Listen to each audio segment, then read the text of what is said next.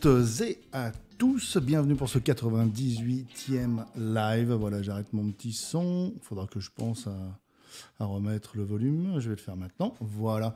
Et ben voilà, bienvenue le chat, bienvenue les nouveaux, bienvenue les anciens. Merci à tous d'avoir euh, participé la semaine dernière au, euh, au live 97. C'était bien cool. Je vois que vous êtes encore là ce soir, donc c'est plutôt bon signe. On a fait la main droite la semaine dernière. Et donc là, je vous propose de nous occuper de la main gauche, la basse, cet instrument de feignasse. Et on va voir ça tout de suite. Pourquoi? Alors bonsoir le chat avant tout. Hein. Je vous, ai, euh, vous êtes déjà à fond sur, euh, sur le chat. Donc euh, hop, je le mets en place ici pour que je puisse vous voir. Salut tout le monde. Je ne peux pas tous vous citer, mais je vois Gémo, Nicolas, Maxime, Marc, Stéphane, Chris, Eric, Christophe, Laurent, Bruno, Fred, Wilfried et j'en passe. Même la boulangerie Fénard est là. eh bien, j'espère qu'on va pas faire trop de pain ce soir puisque la boulangerie nous observe, euh, on risque de trouver quand même quelques petites choses, je pense. Mais bon, bienvenue, bienvenue à la boulangerie. Euh, c'est le bon endroit. Ok, donc euh, salut Pat, Fabien, Luc, voilà. oui, alors le t-shirt, hein, forcément, j'ai trouvé ça cette semaine, ça m'a fait marrer. Alors pour ceux qui comprennent la blague, hein, évidemment hop, le petit short, le petit t-shirt, et du coup, c'est déclaré. Une phrase qu'on entend ou qu'on prononce souvent euh, dans le, monde des, des, icos et des artistes en général. voilà, le petit euh, le t-shirt sympathique pour aller voir son employeur ou son futur employeur pour aller faire des concerts dans les bars, notamment. Au bout d'un moment, il y a une phrase qui arrive et c'est celle-ci. Et du coup, euh, sinon, euh, c'est déclaré, il y a moyen Comment on fait Comment ça se passe au niveau des charges euh, L'URSSAF, vous connaissez Etc. Ok, mais euh, ce n'est pas le sujet ce soir. Ce soir, c'est la basse, cet instrument de feignasse. Pourquoi Pourquoi allez-vous me dire? Certains d'entre vous le savent déjà. ben, pour plusieurs raisons, on va essayer de les évoquer ce soir. Donc, je vous ai mis un petit document à récupérer sur bassistique.com. Comme d'habitude, dans ce document, qu'est-ce qu'il y a? Je vous ai mis un petit truc comme ça, tiens, je vais vous le montrer. Je vous ai mis un petit, un petit, voilà, une petite photo euh, qui parle de symétrie du manche. Alors, je sais que c'est pas toujours le bon terme, n'est-ce pas? Est-ce que le manche est symétrique? Symétrique par rapport à quoi? Par rapport à qui? Euh, symétrie du manche, euh, symmetry en anglais. Hein. Donc, symétrie. Ou alors, on peut dire que le manche est à géométrie constante. J'ai vu passer ça aussi. Géométrie constante. Monsieur Marc, qui est peut-être dans le chat, un manche à géométrie constante, est-ce que ça pourrait te satisfaire éventuellement comme appellation? C'est-à-dire que, ben on va le voir, hein, vous le voyez déjà sur cette photo, euh, que l'on prenne, que l'on joue une gamme de Do majeur par exemple, oula, que l'on joue une gamme de Do majeur, ou que l'on joue une gamme de Sol bémol majeur, ou que l'on joue une gamme de Ré majeur, de Fa majeur, de Sol majeur, de ce que vous voulez, euh, le mécanisme, le dessin, le diagramme que je vous ai fait là, est toujours le même. Hein. Vous pouvez observer les deux diagrammes. Euh, ça joue sur la même corde et c'est exactement le même, la même chose, les mêmes intervalles pour, pour jouer euh, une gamme de Do majeur, une gamme de Sol bémol majeur, ce que vous voulez. Alors attention, c'est là-dessus qu'il va falloir être bien clair. Dans les gammes majeures, ce ne sont pas les mêmes notes que l'on va jouer. Il y aura toujours des noms de notes différents. Par contre, ce seront les mêmes intervalles. Donc, par exemple, pour une gamme majeure, les intervalles entre les notes, de la première à la huitième, c'est ton, ton, demi-ton, ton, ton, ton, demi-ton. Et là, ça nous donne une gamme majeure. Donc, si je vous remets le document, entre le petit point rouge et le premier point jaune, hop là, est-ce que vous voyez mon curseur? Voilà. On a un ton. Entre le deuxième, euh, entre le point jaune et le point jaune ici, deuxième case, on a encore un ton etc. Entre ce point jaune-là, j'espère que vous voyez mon curseur, et le point jaune à côté, on a un demi-ton, une case. Ton, ton, demi-ton, ton, ton, ton, demi-ton, etc. Et ça forme une gamme majeure. Et ça, ça va être vrai donc euh, bah, pour tous les instruments. Mais sur la basse, ce qui est cool, c'est que eh ben, c'est la même mécanique. Et je vous assure que sur un piano, c'est différent. Euh, je vous ai mis sol bémol majeur, j'aurais pu, euh, parce que c'est tombé sur cette case, hein, j'aurais pu vous mettre n'importe euh, quelle note de départ. Hein. Ok, donc là, les débutants qui, qui se diraient Oh, c'est galère de jouer de la basse et tout. Non, franchement, par rapport à un piano, une clarinette, ce que vous voulez, les instruments à cordes, c'est la fête. C'est vraiment pour les feignasses, quoi. Donc, ici, vous voulez une gamme de Mi majeur? Qui connaît les, les notes de la gamme de Mi majeur? Ok, ben je vais la jouer quand même. Parce qu'en fait, je connais la mécanique d'une gamme majeure. En tout cas, une mécanique possible, et ça, on va en parler juste après. Hein. C'est pas, il n'y a pas qu'une seule mécanique à jouer par accord, par gamme, par arpège, mais plusieurs. Mais en tout cas, quand on en a une sous la main, eh ben on sait qu'on peut la reproduire partout sur le manche. Voilà Ré majeur. Voilà, Do majeur. Je change de corde, je prends euh, Sol. C'est exactement la même mécanique qui est euh, indiquée ici, sur ce document. Euh, donc voilà pour moi le, premier argument qui me fait dire que la basse quand même, hein, les gars, on se plaint, on se plaint, mais bon, oui, il y a du taf, c'est vrai. Mais il y a quand même des sacrés avantages, quoi. Donc du coup, euh, bah, bah voilà, le, premier truc qu'on peut dire, le premier truc qu'on peut essayer d'intégrer, et j'irais même jusqu'à dire, euh, toujours euh, pour moi en référence au grand Gary Willis, qu'on pourrait même mentaliser, de se dire, alors je reviens un petit peu sur le plan principal, cette gamme par exemple de, de Do majeur, on sait qu'elle a cette mécanique précise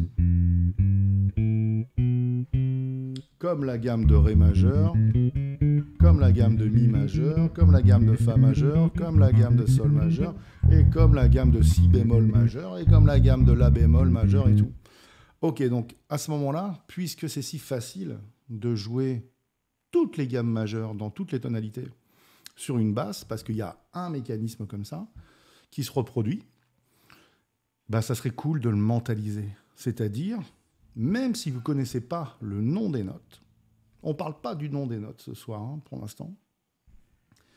On parle juste donc des intervalles, on parle juste de la mécanique. Si vous savez, par exemple, prenons euh, un La ici. Gamme de La majeur, il y a combien de dièses Ouais. dans un premier temps, c'est pas important. Ce qui va compter, c'est de savoir jouer la fondamentale, savoir où est la seconde dans sa mécanique, la tierce majeure, la quarte juste, la quinte juste, la sixte majeure, la septième majeure et l'octave. 1, 2, 3, 4, 5, 6, 7, 8. C'est ça qui va compter au départ pour commencer à défricher ce fucking neck. ok? Donc du coup, bah, j'apprends bien, par exemple, euh, avec le, le document, j'apprends bien la mécanique d'un Do majeur, en avant, en arrière. Je ne vais pas me contenter de reproduire la mécanique bêtement, je vais donc essayer de la mentaliser. Fondamentale, seconde, tierce majeure, quarte. Ici, c'est une quinte. Ici, c'est une sixte. Ici, c'est une septième majeure. Et ici, c'est l'octave. Je vais apprendre par cœur le chiffrage. Et pour l'instant, ben, je ne me suis pas attaché au nom des notes. La majeure, encore une fois, fondamentale, seconde, tierce majeure ici. Je sais que c'est une quarte ici. Je sais que c'est une quinte ici. Une sixte, une septième majeure et l'octave. Le nom des notes, toujours pas. Ok Mais par contre, j'ai obéi à la même règle au niveau de la mécanique. C'est pour ça que je dis que le manche est symétrique. Ce que vous jouez d'un côté se reproduit de l'autre, exactement. Encore une fois, on peut discuter sur le, terme. D'ailleurs, dans le chat, si vous avez un meilleur terme que, que la symétrie du manche, euh, bah dites-le moi parce que ça, ça m'intéresse. Hein. Donc, le terme anglo-saxon employé par, euh, par Gary Willis, c'est symmetry. C'est vraiment ça. Euh, donc, mais si vous avez une autre idée, parce que c'est vrai que la symétrie, c'est comme les ailes d'un papillon, ça c'est une symétrie, quoi. Mais ici, bon, la mécanique se reproduit. Si vous avez euh, des noms qui vous viennent, enfin pas des conneries, hein, s'il vous plaît, des, noms euh, voilà, probables, je vous connais, euh, eh ben n'hésitez pas dans le chat. oui, c'est bien le bémol, Fred. Hein, ouais, ouais, ouais. Donc, donc voilà, est-ce que ça va? C'est bien, petite coquille, t'as mis. Ah oui, Fabrice, t'as mis Live 97 deux fois sur ton site. Ah bon? Euh, bah, je ne vais pas les voir maintenant, mais euh, bah, je te remercie. J'irai, j'irai corriger. Ah oui, je vois ce que tu veux dire. Oui, je crois que oui, effectivement, j'ai, j'ai euh, oublié de corriger un titre. Ouais, c'est possible. Bon, en tout cas, voilà, premier argument pour dire que c'est un instrument de feignasse. Alors maintenant, quand on regarde le document, j'ai quand même mis, puisque toute règle a des exceptions, n'est-ce pas? Oh, j'ai chaud. j'ai mis deux exceptions. J'ai mis que on peut reproduire les mécanismes, sauf quand on joue euh, la fondamentale au niveau de la première case. Ou alors quand la fondamentale, c'est une corde à vide. Et là, chiate les mecs. Là, c'est un petit peu la crotte. Je vois passer ça chez beaucoup de, bassistes, quoi. Hein. des élèves ou pas des élèves d'ailleurs. C'est vrai que quand on joue un Fa majeur ici, bah, on veut reproduire la mécanique. Fondamentale, seconde. Ah merde, elle est où la case? Elle est où la case de la tierce majeure? Eh ben alors? Et Québec Eh ben, il faut se dire que c'est la corde à vide. Donc c'est comme si on avait ici une case 0. Et on va jouer la corde à vide. Donc c'est vrai qu'en première case, corde à vide sur la tierce majeure, carte, quinte, on est bon. Et la sixte, elle est où? La sixte, elle est là case fantôme. Donc ça modifie un petit peu notre euh, symétrie, notre mécanisme. Donc voilà la première exception, si on veut jouer en Fa majeur, corde à vide à gérer à la tierce, corde à vide à gérer à la sixte. Bon, maintenant vous avez des oreilles, moi aussi un peu. Donc du coup, quand vous êtes embêté comme ça pour retrouver un mécanisme, bah de toute façon, utilisez vos oreilles. Hein. De la même manière qu'on est tranquille sur une méca euh, en Do majeur.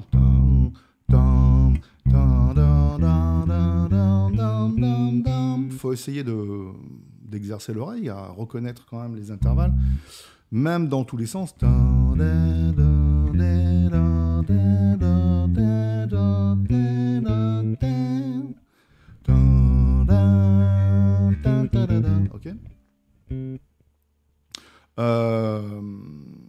Donc, ça veut dire que si vous êtes embêté euh, pour jouer euh, bah, dans une zone euh, comme la première case.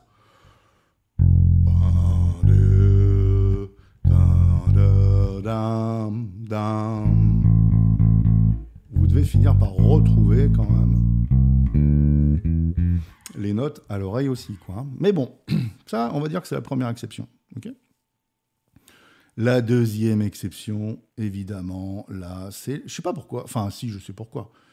Mais c'est souvent l'enfer chez beaucoup de, bassistes. C'est le jeu en corde à vide. Dès qu'il faut jouer un truc, même pas une gamme, une ligne de basse, un arpège, un blues, euh, avec une corde à vide comme fondamentale, euh, là tout de suite, euh, tu as la petite goutte de sueur. Et ça se met à dégouliner comme ça. Et puis on va, on va pas se mentir. Hein. Si on vous demande de faire un, blues en mi, hein, je parle aux moins expérimentés, hein, vous commencez à connaître des lignes de blues et tout, vous voulez commencer à jouer du blues, tout ça, ok. Et puis là, vous arrivez en jam session, et là, les mecs euh, ont besoin d'un bassiste, ouais, bah, on va jouer un blues, ouais, vous vous levez, on y va. Et puis, euh, bon, bah, les mecs, ils vous disent, on va faire un blues en mi.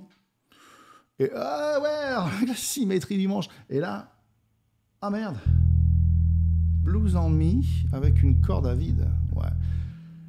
Sans déconner, il y en a combien qui ont fait ça? Mi,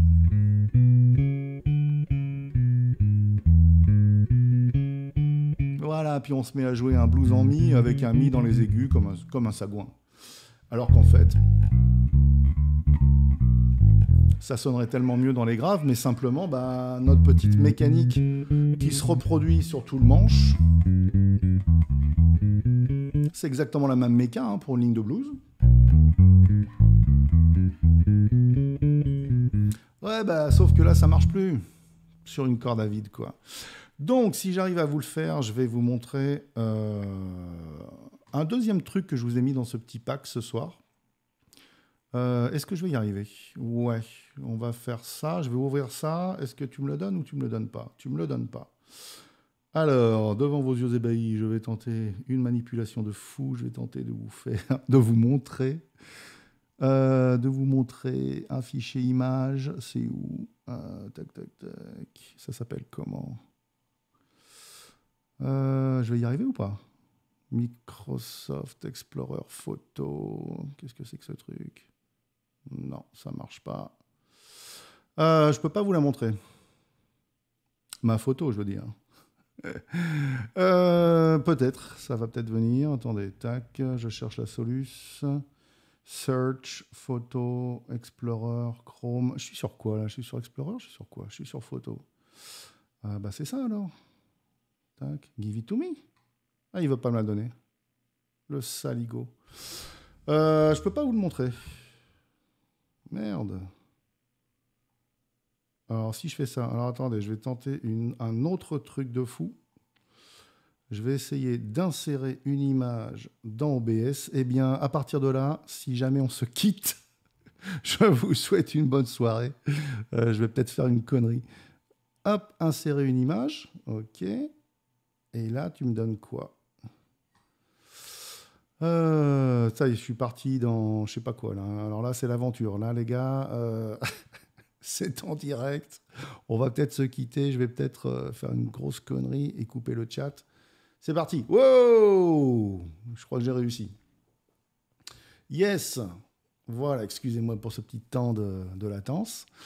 Euh, je vous ai mis une petite toffe, je vous ai fabriqué une petite photo sur les cordes à vide. Et alors le truc pour continuer à se persuader que la basse est vraiment un instrument de feignasse, je vous grossis un petit peu la chose. Voilà. Eh ben, il n'y a pas 36 solutions faut être hyper rationnel avec les cordes à vide, et après, c'est réglé. On peut continuer à considérer que la basse, c'est un instrument quand même facile. Il faut faire un repérage très, euh, on va dire, euh, bah, très, très concret, quoi. Hein. Pour toutes les cordes à vide, par exemple, l'exemple en Mi, toutes les tierces majeures seront quatrième case. Toutes les tierces mineures seront troisième case. Et toutes les quintes seront deuxième case, corde du dessous. OK? Donc je vous montre ça en live. Exemple en mi. Vous galérez pour, euh, pour essayer de faire autre chose qu'une fondamentale. Voilà, très simple. Toutes les cordes quatrième case, tierce majeure. Troisième case, tierce mineure. Deuxième case, corde du dessous, quinte. Ok? Pour un La, bah encore une fois, la symétrie. Hein Pour un La, quatrième case, tierce majeure. Euh, troisième case, tierce mineure. Deuxième case, corde du dessous, la quinte. Pour la corde de Ré, quatrième case, majeure. Troisième case, mineure. Deuxième case, euh, la quinte, corde du dessous. Pour le sol, quatrième case, tierce majeure. Troisième case, tierce mineure. Oh merde, euh, on n'a pas la quinte. Ouais. Bon, bah, on ira la chercher ailleurs et on verra comment. Et l'aventure continue, quoi. Donc voilà, la deuxième euh, exception, la deuxième contrainte, on va dire, c'est donc ça. Euh, partir sur des cordes à vide. Mais voilà, il suffit de résoudre le problème une bonne fois pour toutes. Donc voilà, allez récupérer ce document pour ceux qui en ont besoin sur, euh, sur bassistic.com, là, Bassistic Live. Et vous mettez ça, bah, je sais pas, vous pouvez l'imprimer, par exemple, quoi le mettre sur votre mur et euh, c'est une espèce de pense-bête quoi en fait. Et à chaque fois que vous avez une corde à vide qui se pointe, essayez de trouver au moins la triade tonique, tierce, quinte. Ça correspond à ça. Euh, pardon. Tonique, tierce, quinte, ça correspond à tonique, tierce, quinte que vous savez faire dans les aigus.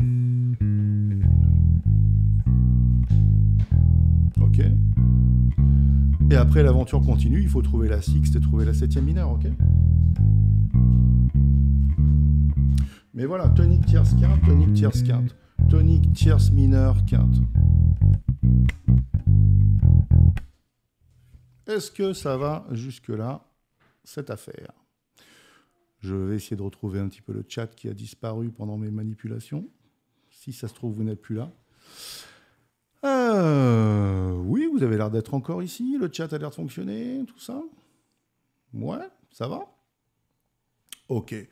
Donc, voilà, instrument de feignasse déjà pour ces raisons-là. Le manche, euh, les mécanismes se reproduisent. Il faut vraiment, vraiment utiliser ça et, si possible, mentaliser. Pour finir avec ça, mentaliser, ça veut dire quoi? Ça veut dire qu'une fois que vous avez joué vos, vos gammes, par exemple, gamme majeure, là, comme on a fait, vous devez pouvoir répondre au bout d'un moment à des questions euh, théoriques. Alors, juste avant ça, hein, que je précise quand même, je ne suis pas en train de dire qu'il ne faut pas apprendre le nom des notes, pas du tout. Mais par contre, ce premier étage, euh, reconnaître les intervalles, il est vraiment, vraiment, vraiment important. Quoi. Une fois que vous savez jouer une gamme de La majeur et que vous avez localiser les intervalles, hein, seconde, tierce majeure, quarte, quinte, sixte, septième majeure, octave. Oui, il faut assigner le nom des notes maintenant, hein, évidemment. Il faut finir la carte d'identité de chaque, euh, chaque note, à chaque fois. Hein. La, si, do dièse, ré, mi, fa dièse, sol dièse, la. Il faut y venir, bien sûr.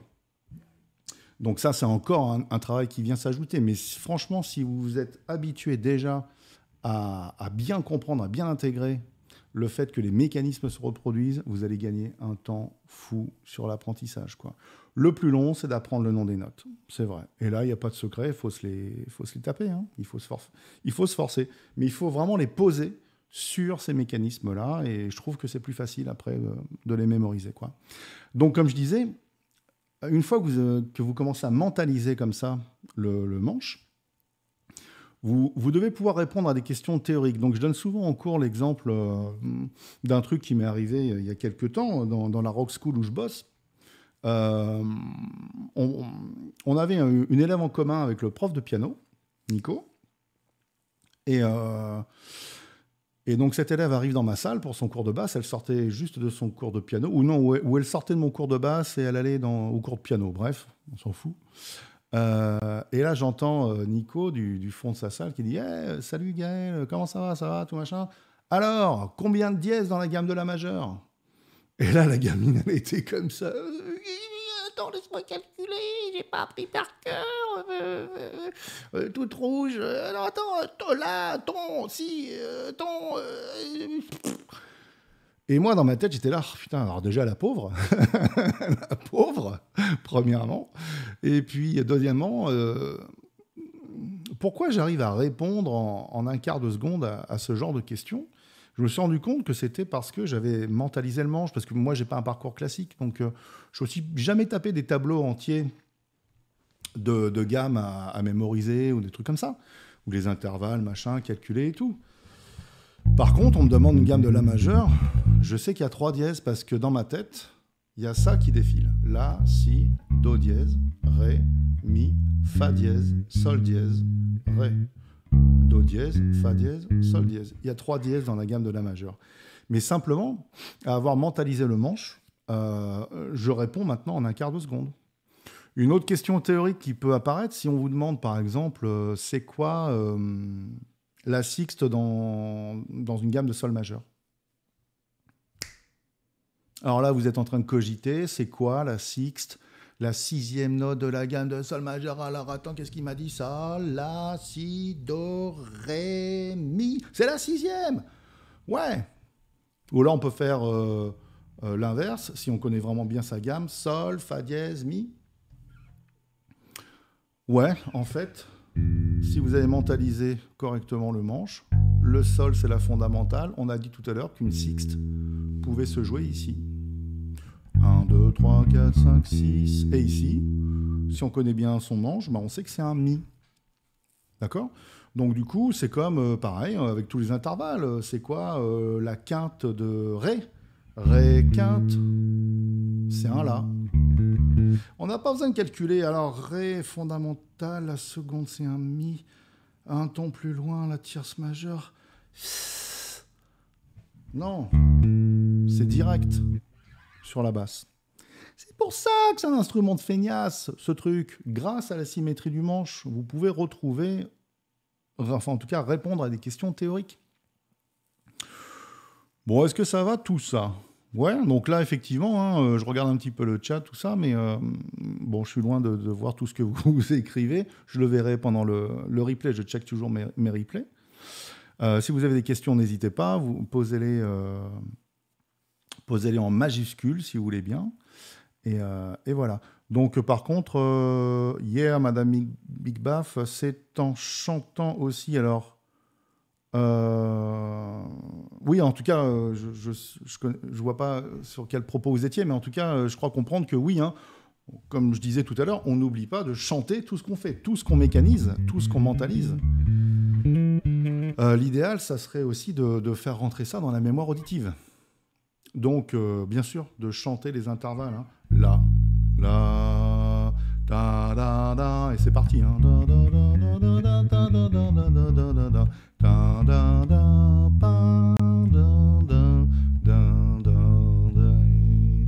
Amen. Euh, ok. Bon voilà en tout cas ce que je voulais dire comme premier point sur le fait que la basse est un instrument feignasse pour apprendre son manche en tout cas. Évidemment c'est du second degré n'est-ce pas hein, euh, partez pas sur les chapeaux de roue.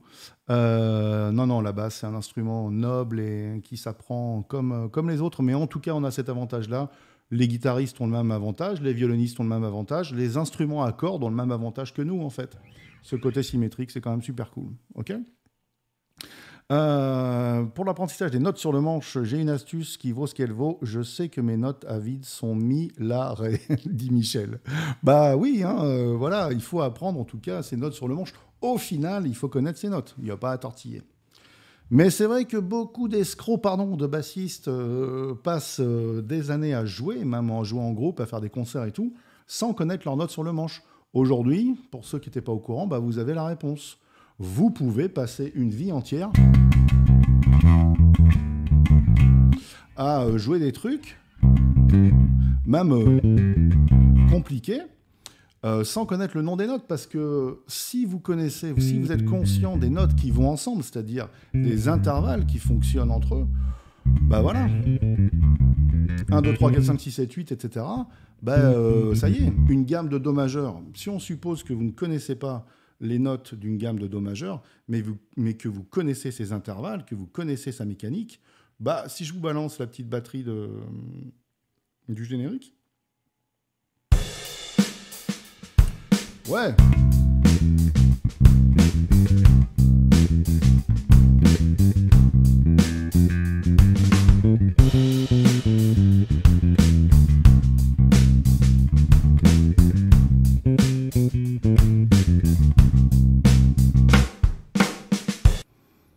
La gamme de Do majeur sans connaître les notes, puisque je sais où sont les notes.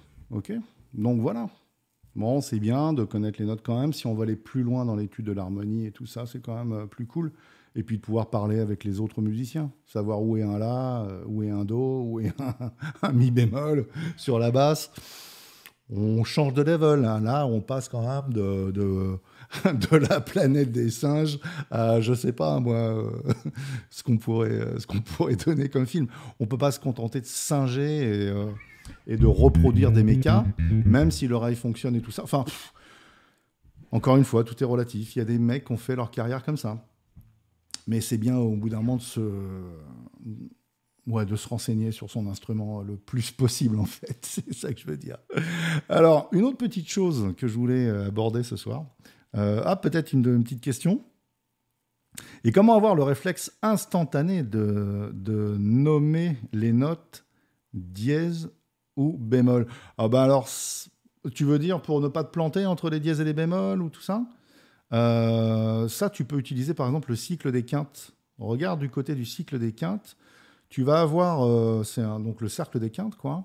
Tu vas avoir euh, à droite toutes les gammes qui contiennent des dièses, à gauche toutes les gammes qui contiennent des bémols, et il faut te les taper. faut te les taper. Par exemple, si tu prends la gamme de Fa majeur ici, Fa, Sol, La, la dièse, Do. Tu vois, La dièse, tu pourrais nommer ici, euh, dire La dièse. Et en fait, quand tu regardes le cycle des quintes, bah, c'est non.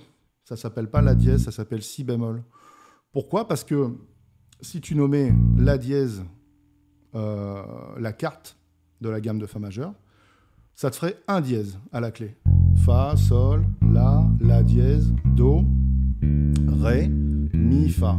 Tu aurais un seul dièse et du coup, euh, par convention, on va dire, hein, sans aller plus loin, par convention, en fait, quand il y a un dièse à la clé, c'est mis pour la gamme de sol, qui fait donc sol, la, si, do, ré, mi, fa dièse, sol. Et on va réserver le dièse à la clé pour faire comprendre qu'on est dans une gamme de sol majeur. Donc du coup, quand tu regardes un petit peu euh, les gammes euh, dont, les, dont les notes sont des dièses à droite et les gammes dont les notes sont des bémols à gauche, bah, concrètement, voilà, tu, finis par ne plus te planter, quoi, en fait. Hein. Euh, ouais, d'ailleurs, Marc, euh, il t'a mis dans le chat l'ordre des dièses et l'ordre des bémols. Mais voilà, c'est dans. Prenez un, cycle des quintes, un cercle des quintes, et, vous pouvez bosser comme ça, quoi. Un schéma sur la gamme mineure, merci. C'était une question J'ai pas vu le point d'interrogation. eh bien, je te dis, je te dis, euh, je ne sais pas quoi te dire. Mets un point d'interrogation. Si c'est une question, je réponds. Un schéma sur la gamme mineure. Tu as des sous? Est-ce que tu as des sous? Déjà, moi, je te pose une question. Est-ce que tu as des sous, Christophe? Euh, euh, Oui, deuxième point que je voulais donner. Euh, pour faire comprendre que, bon, la basse quand même, hein, ça vaut le coup de s'y atteler. Un truc que j'ai piqué à, Gary Willis. Gary Willis, il nous dit que toutes, euh, toutes les notes utilisées en musique occidentale sont contenues dans quatre cases avec une extension vers les graves et une extension vers les aigus. Je m'explique. Si on prend, euh, je vais faire exprès, si on part de la première case ici, bah en fait, 1, 2, 3, 4, on met un doigt par case. OK Plus une extension vers les graves. Alors du coup, le Fa, l'extension, bah, c'est la corde à vide. Le Si bémol, c'est la corde à vide. Le Mi bémol, c'est la corde à vide. Le La bémol, c'est la corde à vide. Voilà l'extension vers les graves, c'est les cordes à vide. Donc on a quatre cases plus une extension vers les graves. Et je rajoute la cinquième case ici.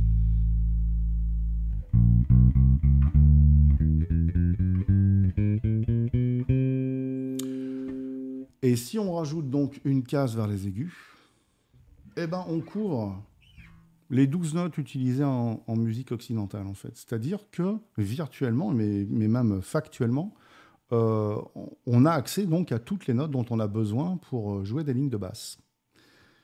Et c'est pour ça notamment que euh, dit souvent euh, dans les cours et tout ça euh, qu'il faut passer du temps sur les cinq premières cases parce que les cinq premières cases c'est celles qui font manger en fait. C'est celles qui contiennent toutes les notes. Donc du coup après c'est du bonus ici, c'est de la recherche sonore, c'est jouer avec les octaves, jouer plus aigu et tout ça. Mais toutes les notes sont dans les quatre cases plus une extension dans les aigus, un demi-ton d'extension dans les graves. Ce qui fait qu'une fois qu'on a pigé ça, on peut vraiment passer du temps et même passer sa vie sur ces cinq cas sans jamais s'intéresser au reste. Hein. On a accès à tout ce qu'il nous faut. OK? Donc du coup, euh, il y a un petit exo que, je vous ai préparé. Alors bah, je vais essayer de vous le montrer si je ne galère pas encore une fois. Euh, souvent en cours, pour, euh, pour explorer un petit peu le, manche et ses cinq premières cases, j'utilise un truc qui s'appelle les positions d'arpège. Alors, je sais, j'essaie de vous montrer ça. Alors, va-t'en, toi, du coup. Clac. Et est-ce que tu me donnes les positions d'arpège? Alors, faut que je refasse tout mon truc. OK. Eh ben, ça doit être ça. Boum. Voilà. Bon, ça, c'est ma petite feuille de cours que je donne aux élèves. Je vous la partage ce soir. Euh, position d'arpège. En fait, l'objet, ça consiste, ça consiste à mémoriser encore une fois des mécanismes euh, qui, vont permettre de retrouver les arpèges des principaux accords. Donc là, je vous ai mis euh, l'accord majeur au départ, l'accord mineur. Est-ce que je vais arriver à vous montrer ça L'accord septième et l'accord diminué ou demi-diminué. Euh, est-ce que je peux vous le montrer mieux? Tac, je descends un petit peu. Ouais. Et donc, du coup, c'est le genre de feuille. J'ai mis euh, quatre positions possibles euh, par accord. Donc, soit vous attaquez cette feuille de manière horizontale. Par exemple, vous prenez le Do majeur ici, et puis ben, vous bossez les quatre positions qui sont écrites. Quatre façons de jouer Do majeur. Position 1, position 2, Position 3. Position 4. OK. Soit vous attaquez la feuille de manière verticale et euh, à chaque fois que vous prenez la basse et que vous voulez bosser vos arpèges, eh ben, euh, vous, attaquez, oh, vous attaquez, mais merde, en colonne. Euh, je reviens. Vous attaquez en colonne. Donc la première colonne, ben, un Do majeur, puis un Do mineur, puis un Do septième, puis un Do diminué. Euh, vous faites comme vous voulez, soit horizontal, soit vertical, mais le but du jeu, ça serait d'arriver à mémoriser au moins bah, les quatre, quatre, positions par accord. À quoi ça va nous servir tout ça? Ben, Là, je vous l'ai fait un petit peu vite fait ce soir, évidemment, parce qu'on n'a pas trop de temps. En cours, on prend le temps de, de, développer ça, évidemment, sur plusieurs cours, sur plusieurs semaines, etc. Certains arrivent à mémoriser les positions, certains arrivent à en mémoriser euh, une, deux, trois, etc. Mais à chaque fois, il faut que, en fonction des accords que vous allez euh, vous retrouver à, accompagner, bah, il va falloir que vous, que vous puissiez réagir en termes d'arpège. En utilisant encore une fois ce qu'on dit ce soir, la symétrie du manche. Exemple, euh, je vous remets le document. Si on prend le Do majeur première position, première position ici, et merde, bon, ça veut pas ce soir. Enfin bref, la première mesure ici, ça fait ça.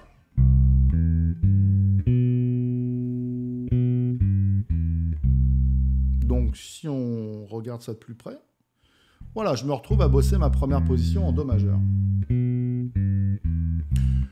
Sur la feuille, j'ai mis euh, euh, que des exemples en Do, Do majeur, Do mineur, Do septième. Pourquoi?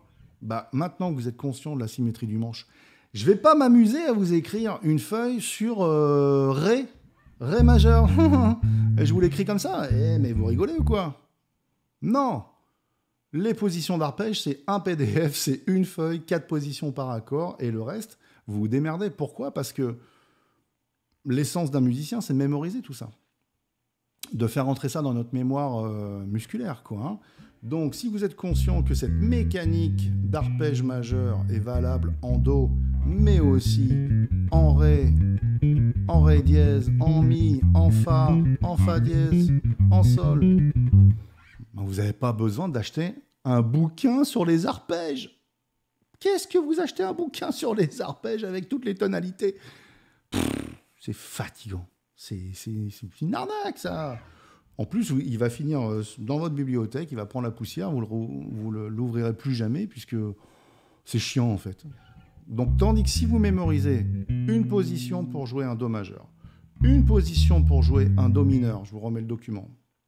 Par exemple, si vous attaquez en colonne, bah vous prenez la première mesure ici, hop, une position pour jouer un accord mineur 7 en Do.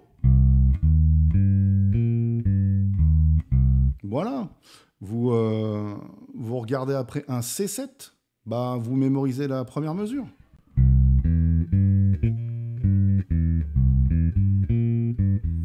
Et un Do diminué en bas, vous regardez la tablature, vous mémorisez votre mécanique.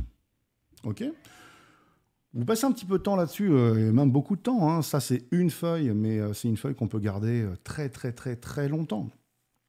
Et ensuite, vous avez compris que si vous avez besoin d'un La diminué, vous prenez un La ici et vous faites jouer la symétrie du manche.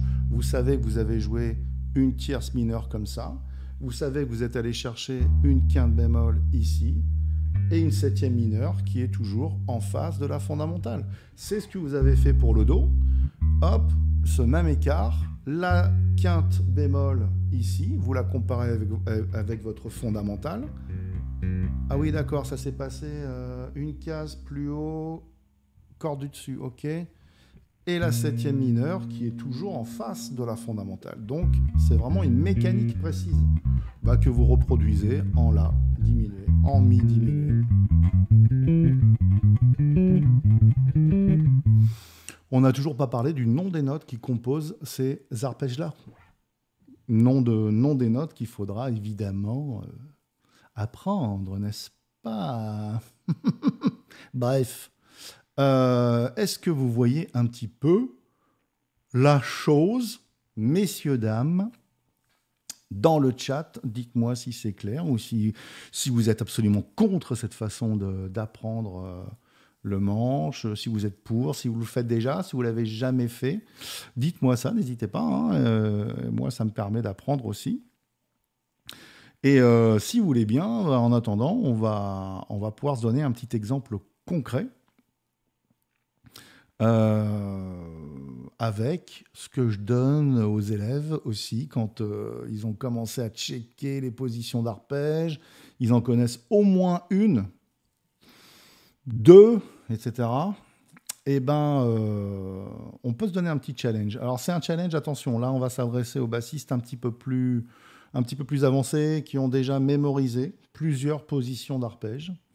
Et euh, généralement, je les mets à l'épreuve sur un standard de jazz. Alors, je vais vous faire écouter ça tout de suite. Petit standard, Autumn Leaves, c'est beau comme tout. Et euh, je vous montre un petit peu. Je vous montre. On va faire le plain explain, comme d'habitude. Je vous montre et puis après, euh, j'explique normalement. Et voici, peut-être, si j'arrive à le retrouver. Voilà. Autumn Leaves, super lent. Et j'accompagne en arpège, uniquement.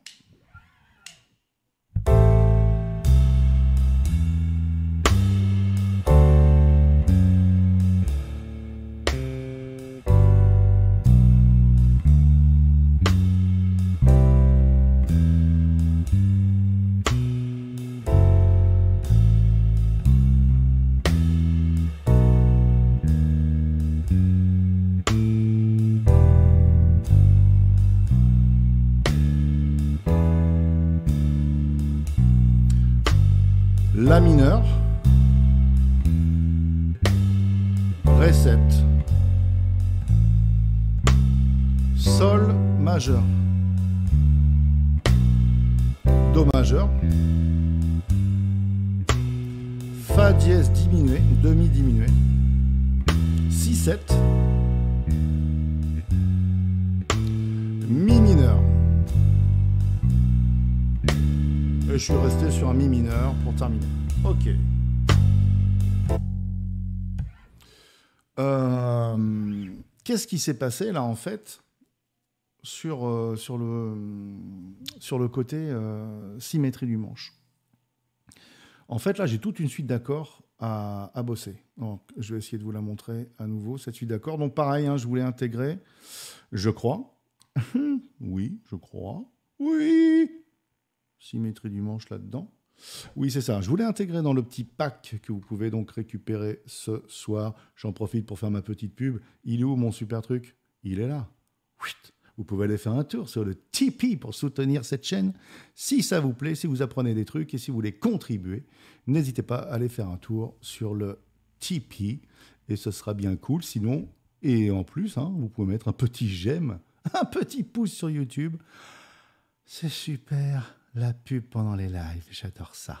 Mais c'est vrai que ça m'aide, hein, ça m'aide à, bah, poursuivre un petit peu ces lives dans la joie et la bonne humeur. Alors, je vous ai mis ça. En attendant, je vous ai pas du tout, j'ai pas du tout cherché le truc. Alors, je vais essayer. Euh, bah, si, je crois qu'il est déjà là. Non, sans déconner. Oh, c'est beau. Oui. Je vous ai mis donc la, la grille de Tom Leaves en mi mineur. Il y a plusieurs tonalités pour Tom Leaves, pas taper, pas taper. Euh, celle-ci, elle est en, mi mineur, en tonalité de mi mineur. Donc, vous voyez un La mineur, un Ré 7, un Sol majeur, etc. Et euh, par rapport à la feuille de position d'arpège donc euh, que je vous ai montré juste avant, eh ben, au-dessus des accords, je vous ai montré quelle position j'ai choisi pour placer mes arpèges sur Autumn Leaves. ok?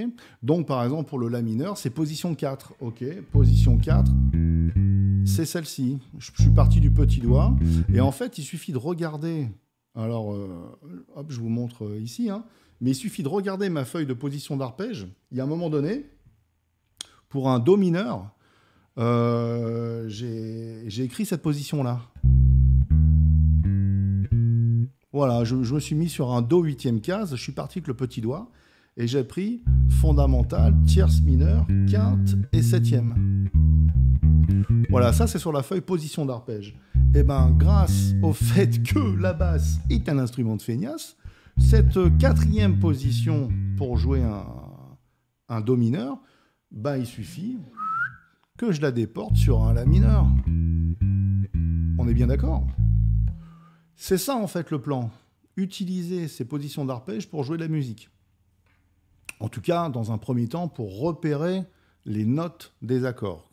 Je ne dis pas que je joue de la musique en, en plaçant mes arpèges les uns derrière les autres, ça reste scolaire, hein, on est bien d'accord, ça reste euh, didactique, hein, comme dirait euh, Jeff Berlin, ça reste académique, pardon, comme dirait Jeff Berlin, on va bien séparer, je suis d'accord avec lui, l'académique de l'artistique. Là, on fait que de l'académique, mais vous comprenez bien que voilà la symétrie du manche entre un do mineur et un la mineur, bah, la mécanique est la même. Les notes ne sont pas les mêmes, mais la mécanique, les intervalles sont les mêmes.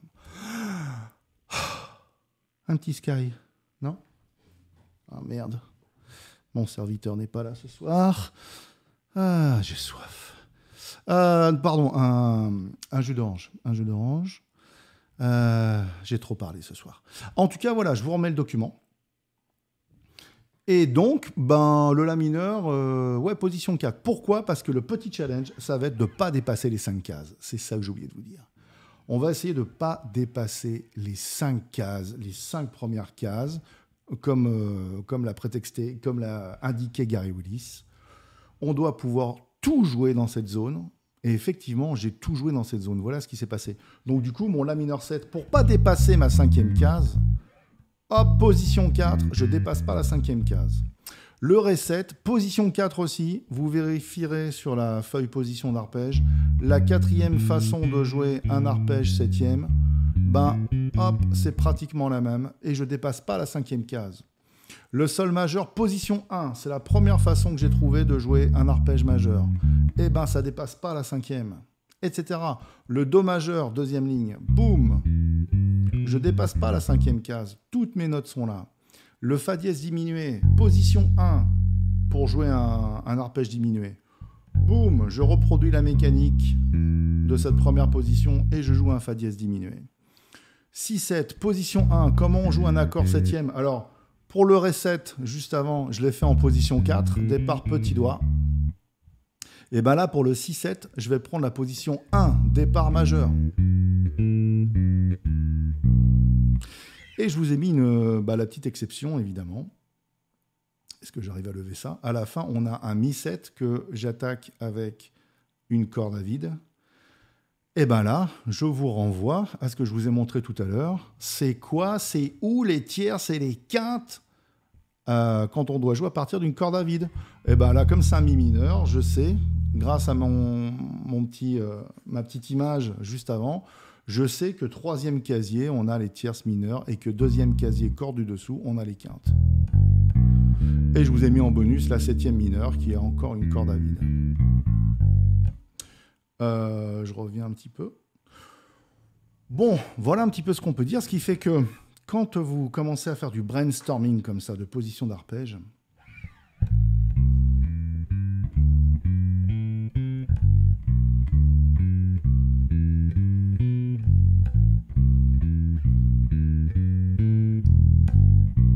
et en arrière le mi. eh ben ça y est, vous commencez à réagir par rapport aux accords qui passent. Quoi. Donc euh, au départ, ben, vraiment pas de playback, pas de tempo, rien. Vous passez du temps sur la mémorisation de ces positions. Et petit à petit, prenez le risque, mettez-vous un petit peu en risque et commencez à mettre un playback. Euh, de ce que vous voulez, hein, des morceaux. Là, j'ai pris Autumn Leaves, ça peut être n'importe quoi, hein, n'importe quelle suite d'accords en fait. Et vous essayez de retrouver les arpèges et de faire réagir votre mémoire musculaire pour la forcer à trouver ben, au moins une position parmi les quatre que je vous ai suggérées par accord. 4 x 4, 4 accords, 4 positions, 4 x 4, il y a 16 mécanismes qu'il faudrait mémoriser. Encore une fois, ça n'empêche pas d'ajouter le nom des notes, ça n'empêche pas de faire travailler son oreille par-dessus ces mécanismes. On est des, musiciens, euh, il faut faire réagir l'oreille, évidemment mais ça me paraît hyper un russe blanc. je, vois ce que tu veux dire. je vois que tu as eu la ref. Euh, Fabrice. Mais en tout cas, voilà, ça me paraît important de, se servir de ces mécanismes. C'est pas moi qui le dis, hein, c'est plein de bassistes, dont le grand Gary Willis, quoi. Euh, là où je voulais vous emmener aussi, ben, c'était de vous dire, ben voilà, dès lors que vous, commencez à être confiant, on peut monter le tempo, par exemple. 1, 2, 3 et 4, La mineur, Ré 7, Sol, Do majeur, Fa dièse diminué,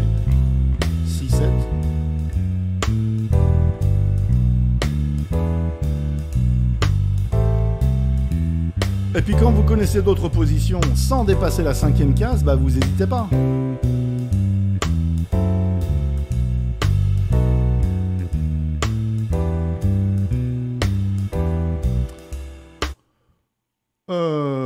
soyons fous, soyons jeunes.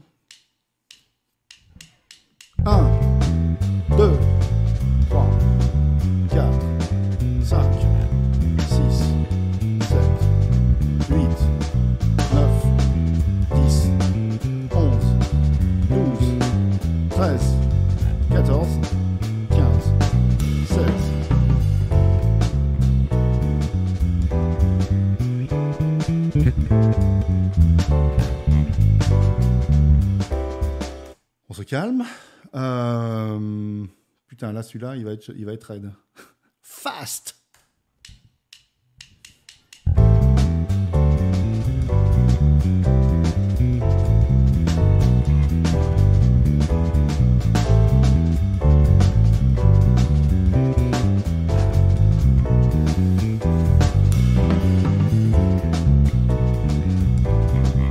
Oh N'importe quoi.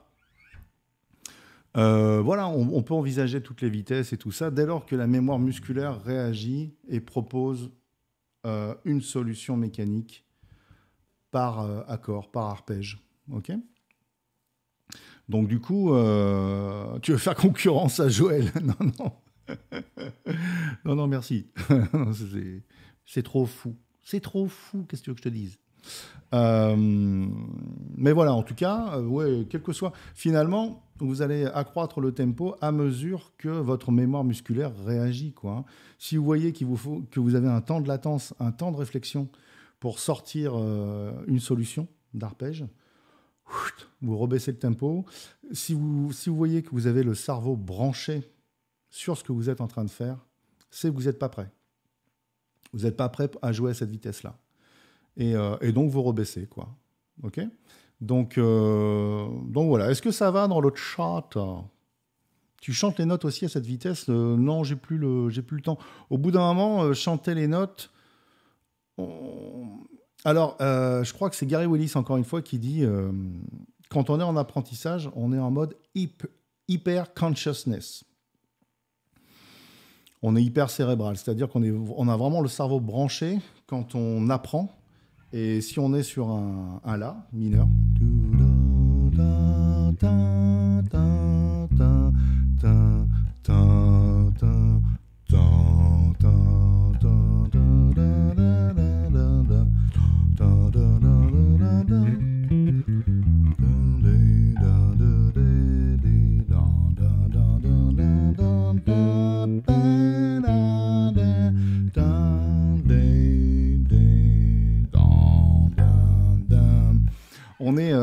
est euh, hyper céré- cérébral. On pense vraiment nos notes, on les écoute, on les chante, etc. Hein, hein, hein. Euh, voilà. Après, quand on est en mode euh, mémoire musculaire, parce que le but c'est ça, eh ben l'oreille aussi, elle se met à se créer sa bibliothèque auditive. Et quelque part, on n'a plus besoin de conscientiser la note, on n'a plus besoin de la chanter. On sait comment ça sonne. On sait comment ça sonne sous les doigts. Euh, c'est comme. C'est comme de jouer une, phrase pentatonique.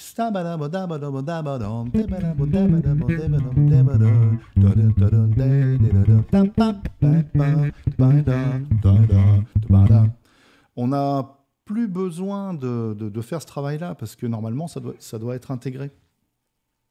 Mais par contre, quand on est en mode apprenti- apprentissage, euh, ouais, il faut, euh, il faut le faire, hein, il, faut, chanter les notes. Euh, Peux-tu expliquer pourquoi Autumn Leaves est en mi mineur? Hmm. Ah oui, alors peut-être que tu... Oui, ce que je me, disais, bah, parce que le mec a choisi de, de jouer dans cette tonalité-là. Euh, parce que mi mineur, alors je pense que savoir ce que tu veux dire. parce que mi mineur, c'est la relative, la gamme mineure relative de sol majeur. Et, euh, et tous les accords de d'Autumn Leaves appartiennent à sol majeur. Euh, on a un La mineur, c'est le deuxième degré. On a le Ré 7, c'est le cinquième degré. On a le Sol majeur, premier degré. On a le Do majeur, quatrième degré.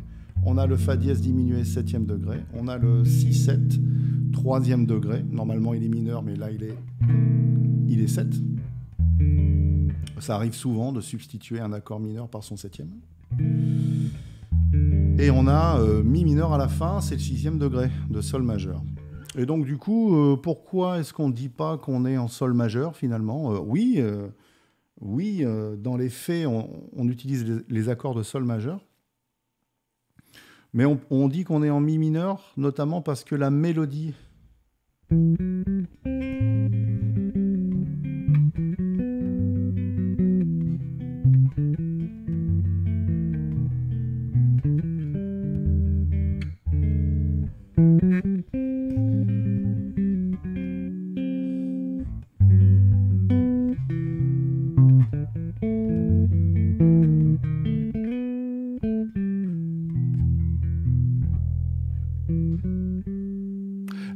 a été écrite en mi mineur.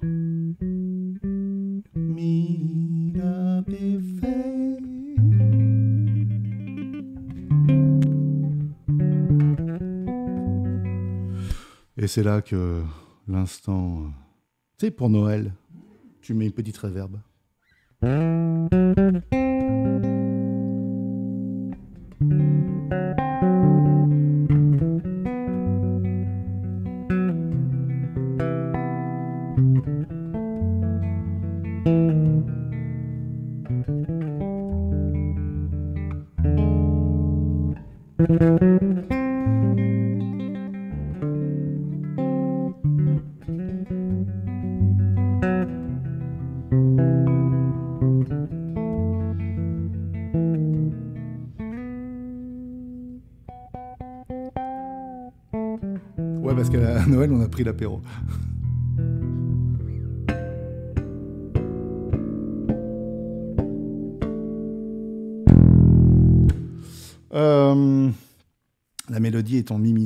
Pour ça qu'on va, on va, plutôt, on va plutôt dire ça.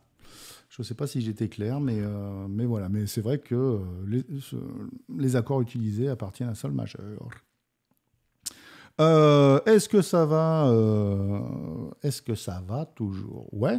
Donc voilà, je voulais un petit peu évoquer ça avec vous ce soir, le fait que oui, là-bas c'est un instrument de feignasse, il faut pas déconner, mais pas moins que la guitare et, et les instruments à cordes. Grâce à cette symétrie du manche, il faut l'utiliser, en abuser, mentaliser si possible. Vous devez pouvoir rêver, et je déconne pas, vous devez pouvoir rêver de vos mécanismes quand vous couchez le soir. Je sais que certains élèves, ça leur arrive. Euh, alors attends, c'est comment déjà la gamme Ré mineur pentatonique à quoi comme note? Et là, on se met à imaginer. euh, alors attends, ouais, si je pose mon doigt ici, cinquième case, un ton et demi, j'ai la tierce mineure, je suis sur un ré, mi, fa, un fa, ré, fa, ré, fa, sol, la, do, ré, ré, do, la, sol, fa, ré, do, etc. Et on mentalise en fait nos, nos mécanismes et on n'oublie pas de, de chanter les notes et tout ça quoi. Voilà, bah écoutez, euh, moi j'ai fait un petit peu le, tour de ce que je voulais vous dire, donc n'hésitez pas à récupérer euh, tous les documents euh, sur le site hein, bassistique.com. Vous pouvez laisser un petit pouce avant de partir, ce qui fera remonter. Pourquoi on dit tout ça? Pourquoi les youtubeurs euh, arrêtent pas de vous dire ça? Abonnez-vous, activez la cloche. mettez un j'aime et tout ça, c'est parce que Mister YouTube, ben voilà, si vous le faites pas, ben, il fait disparaître la vidéo dans les limbes de YouTube. Et si on veut avoir un peu de visibilité, bah, il faut bien en passer par là. Donc, merci d'avance pour ceux qui, euh, qui apprécient ces lives et qui, font, et qui font le truc. Et quant à moi, je vous donne rendez-vous pour le live 99, euh, certainement la semaine prochaine. Il est possible que je décale de temps en temps, que ce soit tous les 15 jours et tout ça. Live 99, euh, n'hésitez pas à me dire... dans les commentaires euh, sous le replay euh, si vous avez envie de voir des, sujets particuliers tomber. Euh, voilà, on, essaye de, donner des informations, n'est-ce pas? Et puis, et puis voilà. Par quoi on pourrait finir, ma foi? Bon, un petit, un petit groove. Pareil, hein, ça va être la même, hein, encore une fois, hein, maintenant qu'on a parlé de la symétrie du manche et tout ça, les intervalles et tout, j'en parle souvent pour groover, pour jouer des lignes de basse.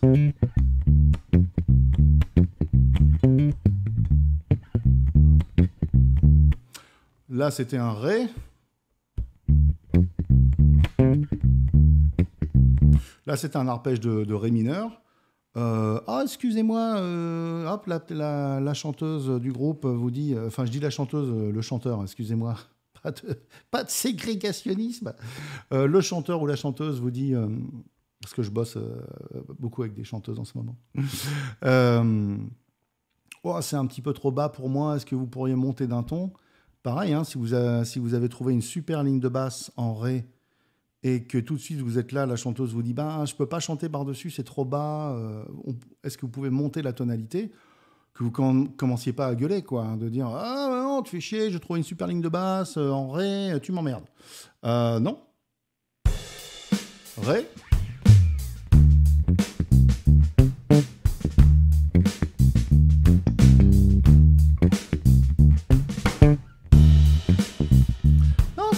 Tu peux changer. Pas de problème.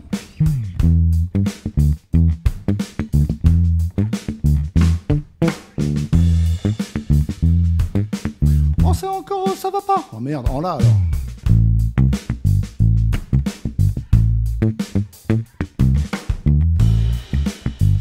Pas de problème, sol.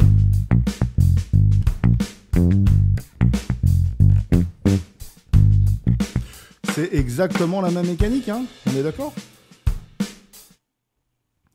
Bah voilà, ça, marcherait pareil. Euh, on peut transposer facilement des morceaux. Euh, c'est vrai que je n'ai pas pensé à dire ça, mais voilà aussi pourquoi c'est un instrument de feignasse. Franchement, si vous, si vous vous intéressez un petit peu au piano, le gars qui est pas trop mauvais pianiste et tout, mais bon, euh, qui est encore à un stade d'apprentissage et tout, quand on lui demande de transposer comme ça à la volée, ça peut poser des problèmes parce que les, mécanismes des, accords sont complètement différents, quoi les touches noires, les touches blanches, c'est jamais pareil. Donc un ré mineur ne ressemble pas à un mi mineur pour lui, ni à un la mineur. C'est vraiment, euh, faut se les taper les mécanismes, quoi. Faut se les mémoriser. Nous, on a juste à bouger la main gauche, vraiment. Voilà, donc euh, un petit peu ce qu'on pouvait dire. Peut-être un sujet sur le walking, dit Chris. Ben ouais, c'est vrai qu'on l'a pas forcément fait, ce truc-là je crois, dans les 97 lives précédents. Je pense pas qu'on ait parlé du walking. Pourquoi pas Ça peut être un, sujet pour la prochaine fois. Les recettes du walking, c'est un truc qu'on voit en cours aussi avec, euh, avec certains élèves. Euh, on peut se faire un petit truc là-dessus, effectivement. Comment accompagner euh, Bah tiens, si on parle d'Autumn Leaves, pour finir avec ça. Allez, on peut finir avec ça. Tiens, si je mets ça par exemple. Une recette c'est-à-dire que je vais appliquer un mécanisme, une recette. Je ne vais pas appeler ça mécanisme, je vais appeler ça module. Euh, tiens, regarde, Chris, ça peut peut-être intéresser euh, les autres qui, restent un petit peu plus longtemps. Euh, une recette pour faire un walking. Alors pareil, c'est académique, c'est pas artistique. L'idée, c'est de mélanger plusieurs recettes pour faire un vrai walking artistique. Mais pour s'entraîner, une recette à chaque fois. Attention, ça va aller très vite fondamentale, quinte, octave, note d'approche. Quatre notes. Un walking, c'est quatre noirs par mesure. Fondamentale, quinte, euh, octave, note d'approche. C'est parti.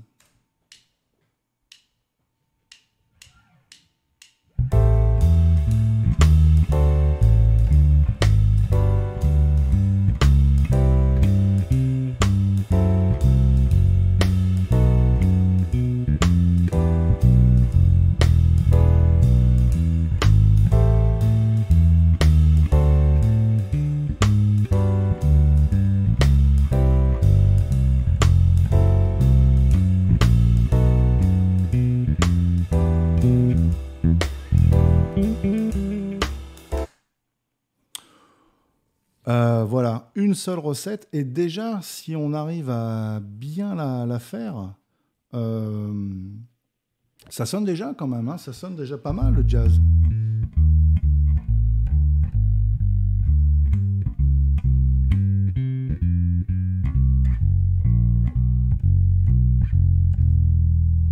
Ça sonne déjà pas mal jazz. Et là, il n'y a qu'une seule recette fondamentale, quinte, octave, note d'approche, fondamentale, quinte, fondamentale, note d'approche, fondamentale, quinte, octave, note d'approche, fondamentale, quinte, octave, note d'approche, fondamentale, quinte bémol, octave, note d'approche, fondamentale, quinte, octave, note d'approche, fondamentale, quinte, octave, note d'approche, fondamentale, quinte, octave, note d'approche, et c'est reparti.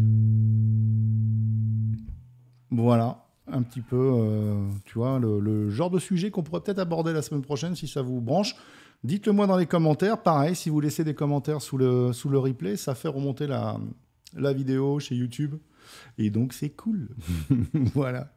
Merci à tous en tout cas. Euh, je vais finir par un petit générique, petit, euh, un petit groove en guise de générique de fin. Et, et je vous dis à très bientôt. Merci d'avoir été présent. Bye bye. Ciao. Je coupe le micro.